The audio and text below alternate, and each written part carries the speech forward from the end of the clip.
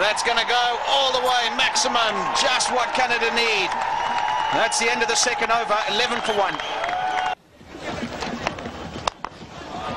That's nicely hit, straight through the line. That will go for four. Over the bowler's head. And as I was alluding to earlier, this man does have some pedigree. He scored 80 odd against the West Indies a couple of months ago in a one-day international. And on this occasion, well, he's looking like he wants to take the Pakistani bowlers on. Well, take that. Take that. That looks like it's gone all the way for the maximum. And it's not often that you will see Shoaib Akhtar being carved over mid-on. And Rizwan Cheema, well, I'll tell you what, he's looking a very dangerous player indeed. Very well controlled shot. One thing we've seen throughout the morning that anyone who's trying to pitch it up, it's very easy to hit him through the line. But if Asia Cup and he was uh, one of the best ones. Uh, that one was a touch fuller and uh, made full use of it. Has gone for a boundary. Yes, it's that man, Cheema again. You pitch it uh, up to him. He doesn't let them off. There he goes again. Huge uh, hit, a lot of power. Just clubbed it. Uh, didn't flick it off his pads, but just clubbed it down the leg side.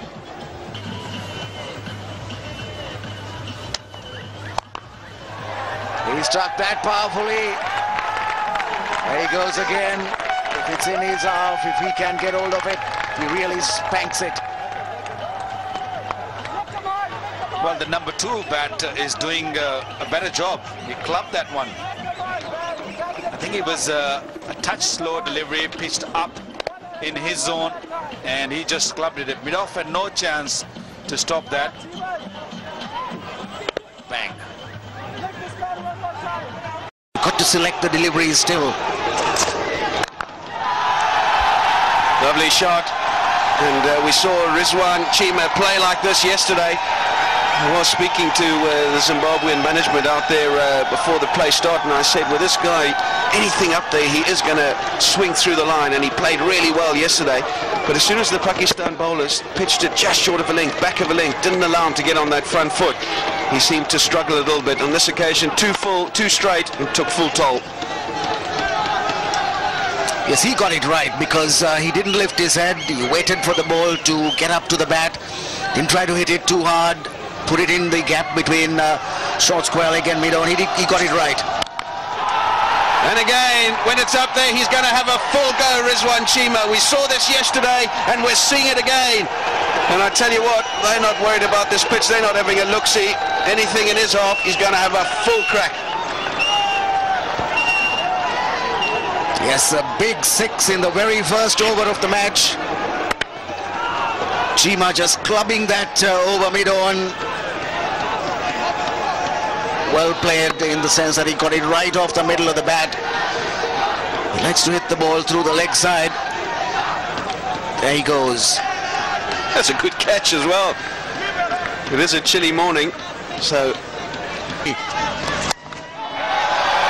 Well, that's the danger, always the danger when you bring up third man, when you have a go. We see so many balls go down in that area, and particularly if you're bowling back of a length. Rizwan Cheema kept quiet for the first few deliveries, and that one back of a length, well bowled by Imperiwa, but a thick outside edge, and no one down there. Remembering that Zimbabweans have gone with long on back and third man up in the circle. Pretty fortunate, but these sort of things happen in 2020 cricket. Yes, he had some space to swing his arms. That was a little outside the off stump.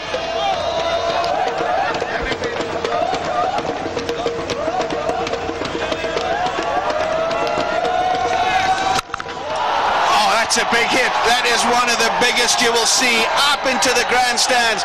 That is a long boundary out there. You were talking about a field change. They did make one, brought up fine leg and put third man back, but that doesn't deter Rizwan Cheema. 29 for one.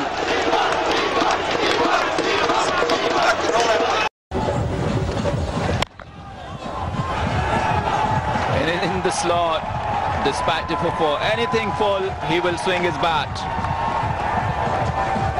It will be a good contest. I'm sure we're going to see some bounces here. The Cheema has been exposed to those bounces in last two, three games. Yes, it was possibly an uh, Yorker attempted by Dilhara Fernando. Ended up being a full toss, fairly high full toss. And he just clubs it away. That's a huge one. That's huge. You ball me here, I'll murder you. That's what Cheema's message. He's looking anything full. He's gonna go for it. That's the only way he can bat. So after an impressive over from Fernando, this one hasn't gone his way. Cheema ready to take the attack to him. Hit a boundary in the first ball and this time hits it almost out of the ground. A huge hit. The fairly long part of the boundary. That is big. That is big. You cannot be anywhere in his arc. Cheema, we've been impressed with him and we'll continue being impressed.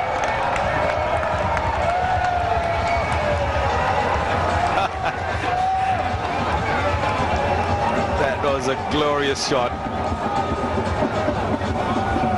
We were just talking about the tennis uh, ball cricket and look at that he made it so easy.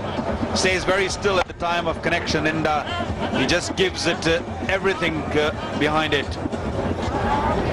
Boom.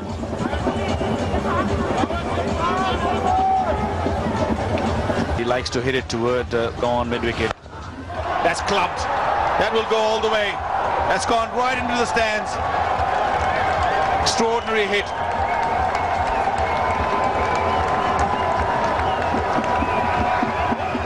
Impressive pickup. Probably the shorter of the two square boundaries today. I've often seen those square boundaries cleared. Strong man. Tell you what, they're not out of it, Canada. 94 required from 73.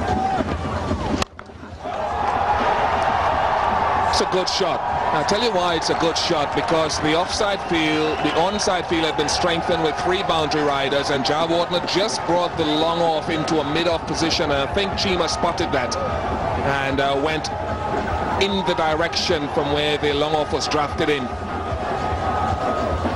And the other smart thing he did, he picked the slow one very nicely. Normally he hits it toward that uh, mid-on and uh, mid-wicket region, but uh, picked it up, opened the face and uh, looked to hit over the mid-off region and did it beautifully. Not on that occasion. Oh, that uh, fielder was long way out on the boundary, had no chance to stop that. That was uh, going like a rocket.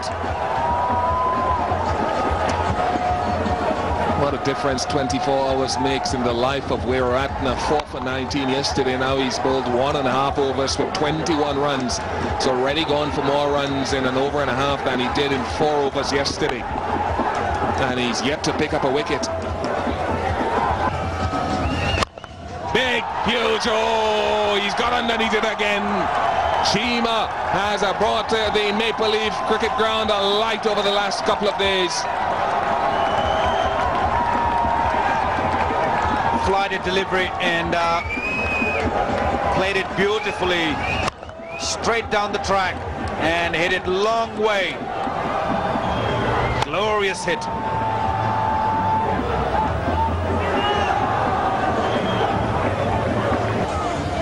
That's a full toss. You can't bowl there. Just singing his praises, son of Jai Jayasuriya. I want to tell you, that is one of the biggest hits you will ever see.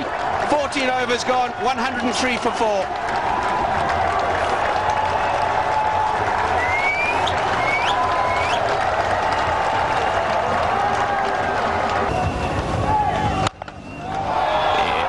It's a hard. Cheema hits it with immense power. He's been on song throughout this innings,